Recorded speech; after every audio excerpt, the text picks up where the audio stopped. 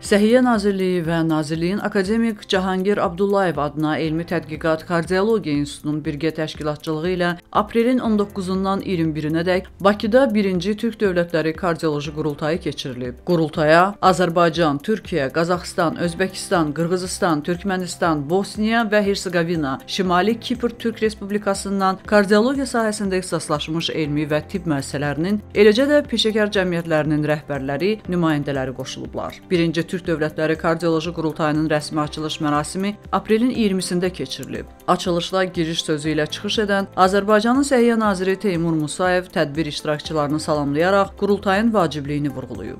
Hörmətli qurultay iştirakçıları, qardaş ölkələrin elm cəmiyyətinin parlaq simaları, hörmətli səfirlər, dəyərli millət vəkilləri, əziz həmkarlar, xanımlar və cənablar ilk dəfə təşkil olunan 1-ci Türk Dövlətləri Kardioloji Qurultayının açılış mərasimində iştirakdan qürur duyuram və hər birinizi səmimi qəlbdən salamlayıram. Azərbaycan, Türkiyə, Özbəkistan, Qazaxıstan, Qırğızstan və Türkmənistanın kardiologiya sahəsində ixtisaslaşmış elmi tədqiqat institutlarında və peşəkar cəmiyyətlərinə xalqlarımızın tibb icmalarını bir araya gətirməkdə və qurultayın təşkilinə göstərdikləri dəstəyə görə dərin təşəkkürümü bildirirəm. Türk Dövlətləri Təşkilatının keçdiyi tarixi inkişaf yoluna baxdıqda, cəmi 15 illik qısa bir müddət üzv və müşahidəçi ölkələr arasındakı münasibətlərin yaxınlaşmasında, regional əməkdaşlığın dərinləşməsində mühüm rol oynamışdır.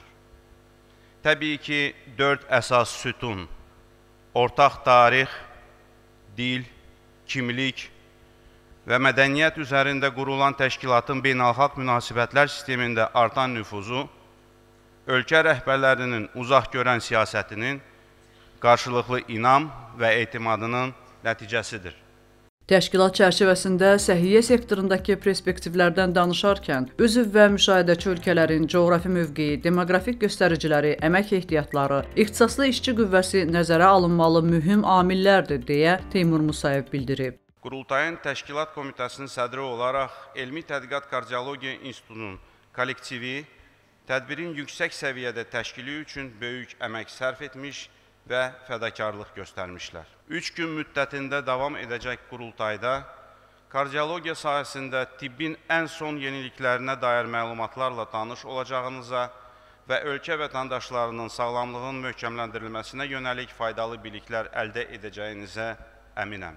Türk Dövlətləri Təşkilatına üzv və müşahidəçi ölkələrin vahid tibb elmi məkanının yaradılması, birgə elmi tədqiqatların aparılması, vahid tibb təhsili standartlarının müəyyənləşdirilməsi, davamlı tibbi təhsilin təminatı birgə fəaliyyətimizin gələcək istiqamətləri kimi düşünülə bilər. Azərbaycanın Səhiyyə Naziri qurultayın təşkilinin ənənə halına almasını və hər il bir ölkənin tədbirə ev sahibliyi etməsini təklif edib. Teymur Musayev çıxışını görkəmli mütəfəkkirimiz Hüseyn Cavidin şeiri ilə tamamlayıb. Tədbirdə çıxış edən Türkiyənin Azərbaycandakı səfiri Cahid Baxçı vurğulayıb ki, tarix boyu türk xalqlarının ürəyi hər zaman bir-biri üçün döyünüb.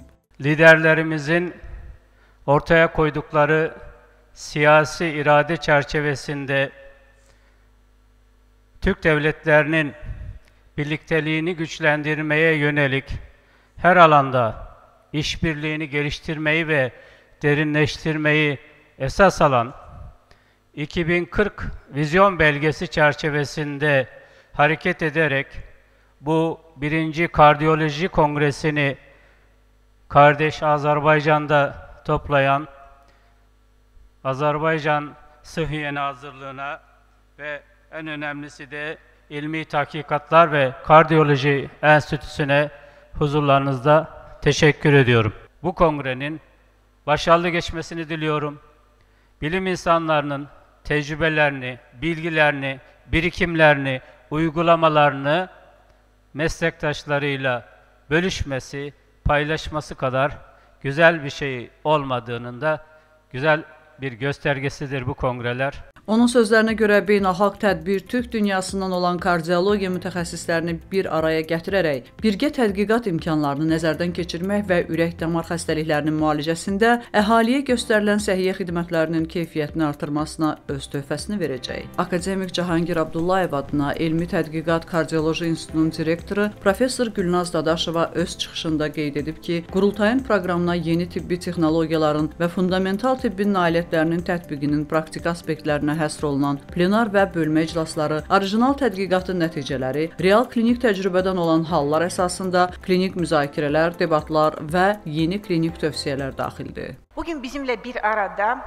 ortaq mədəniyyətimiz, etnik, milli e, birliyimiz və eləcə də bil, e, ortaq tariximizin e, əsasını özündə cəmləyən türk dövlətlərinin, daha doğrusu Azərbaycan, Türkiyə, Qazaxstan, Özbəkistan, Qırğızistan, Türkmənistanın Azərbaycandakı səlahiyyətli nümayəndələri, eləcə də bu ölkələrin elmi tədqiqat institutlarının rəhbərlikləri və aparıcı kardiologiya sahəsində aparıcı mütəxəssisləri bu tədbirdə iştirak edir.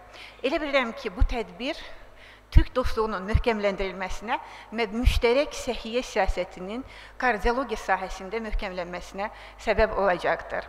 Fərəhli bir haldır ki, qurultayımızın qeydiyyatına minə qədər Dünənki ə, tədbirdə 500-ə qədər, artıq bu gün 1000-ə qədər qeydiyyatçı, iştirakçı ə, və qeydiyyatdan keçib. Daha sonra Azərbaycan və Türk dövlətləri haqqında video çarxlar nümayiş olunub. Tədbir bədii hissə ilə davam etdirilib. Vətəni sevməyən insan olmaz. Olsa da o şəxsdə vicdan olmaz. Ay dadı bə.